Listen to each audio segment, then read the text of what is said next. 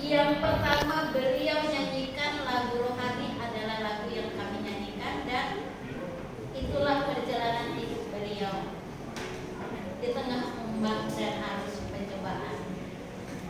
Lagu yang terus beliau kumandangkan ketika beliau banyak masalah dari mulai eh, belajar katekisasi bagaimana menjadi pengikut Kristus lagu ini yang paling